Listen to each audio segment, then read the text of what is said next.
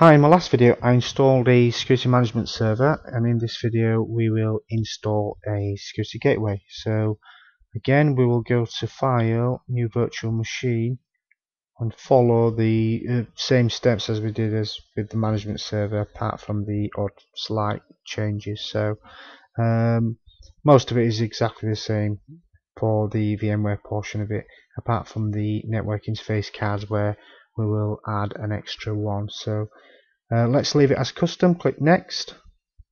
Uh, click next on hardware compatibility. Uh, leave it as I will install the operating system later. Click next. Uh, leave it with the uh, Linux 2.6x kernel 64-bit click next. Give it a name. So we'll give this one name as uh, CP gateway. Click next. Uh, processors. Click next RAM memory give it 1 gig or more and click next. NAT again we'll leave it the, sorry we'll leave the network connections as NAT uh, because I like to have the same IP addressing wherever I take my laptop. So click next here. On the uh, control types uh, leave it as default as well as the disk types leave it as default click next uh, create a new virtual disk click next here. Again I just give it a 40 gig storage space. The more the better. Click next. And click next on the disk file name as well. Leave it as default. And here we can go for customized hardware. Give it an extra uh, network card. Network adapter. Next. Um, you can give it a bridge one if it's on the uh, other side of the network. Click finish here. So now it's got two uh, network adapters. One's in NAT mode one's in bridge mode.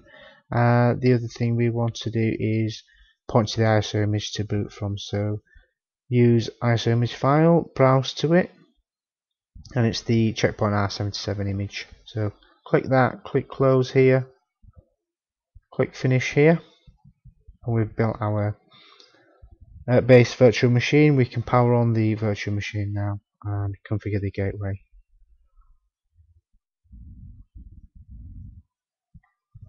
So select install Gaia on this system. I'll pause the video now and uh, once I start up again we can further configure Gaia.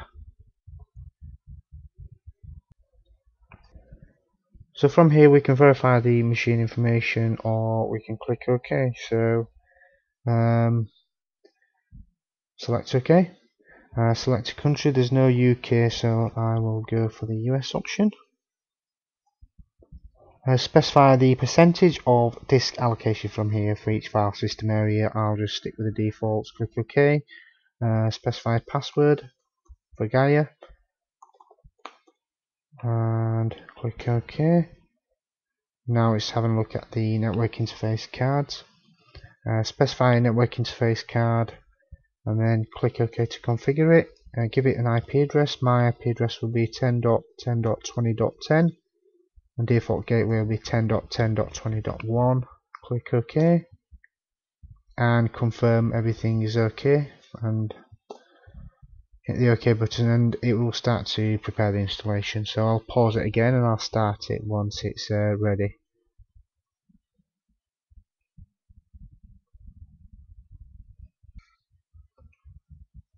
Right, so the installation is complete and we can reboot Gaia. I'll pause the video again.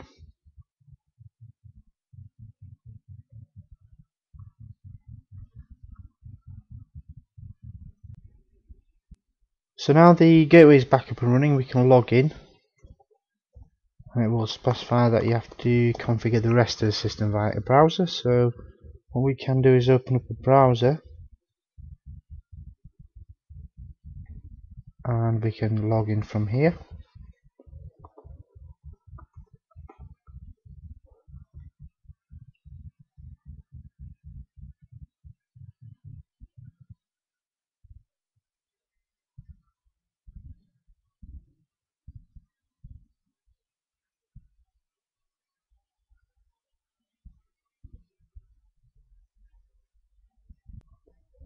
it's having a, a, problem with the loading up and I think that's with the bridge connection so I've configured the interface which is uh, set up as bridge mode uh, with the NAT settings, the NAT IP addressing. So I'll temporarily change that to NAT as well, and uh, hopefully it should be able to log in then. So I'll just pause the uh, uh Okay, so I've now fixed the network card settings, so we should be able to log in.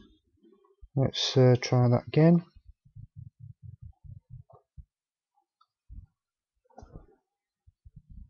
And yeah, we can now log in. So add the certificate exception.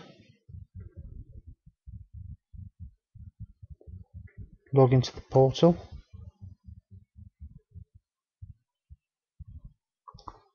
and follow the first time wizard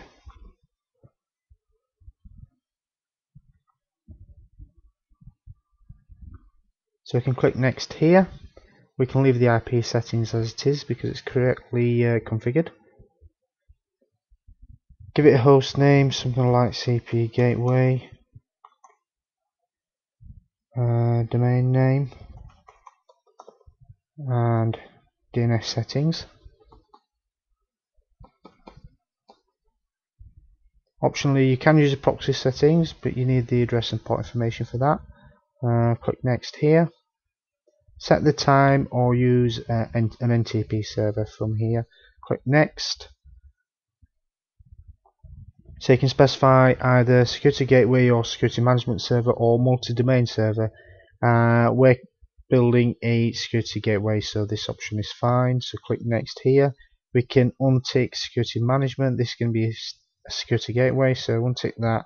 You can optionally configure clustering uh, settings from here if the security gateway was part of a cluster and you can leave this tick box on automatically download blade contracts and other important data highly recommended. So click next here. Uh, does this gateway have a dynamically assigned IP address? Uh, no so that's fine. So we're using a static one. There are some environments that use dynamic IP addresses but for the majority they use uh, static IPs so click next there. Give it an activation key. So uh, this is needed for secure SIC trust relationship with the management server. So both the gateway and the management server can communicate securely and trust each other. So specify a key here. And we'll need this later when we are adding the gateway to the management server. So click next and click finish. So this will go away and configure the uh, checkpoint settings. So we'll pause the video and come back when it's done so we must uh, restart the system from here. So if we click OK, the system will be restarted and I'll pause. Okay, the system is back up and running. So we've now installed the security gateway. We've configured it and installed it, but it doesn't belong to a security management server. So that's the uh, next uh, task we have to do. So if we just log in for now.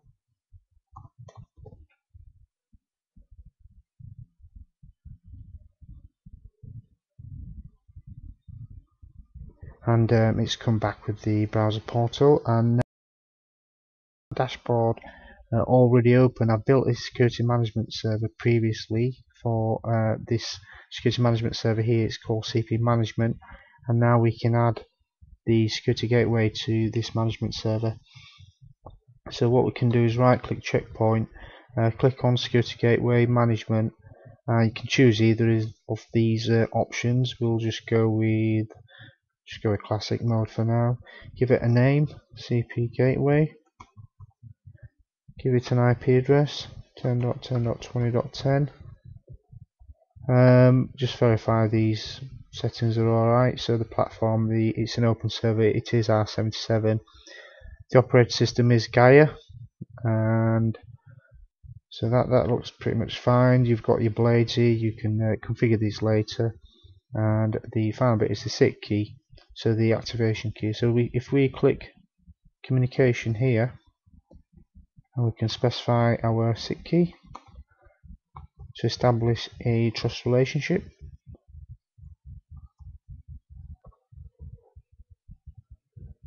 Click on initialize.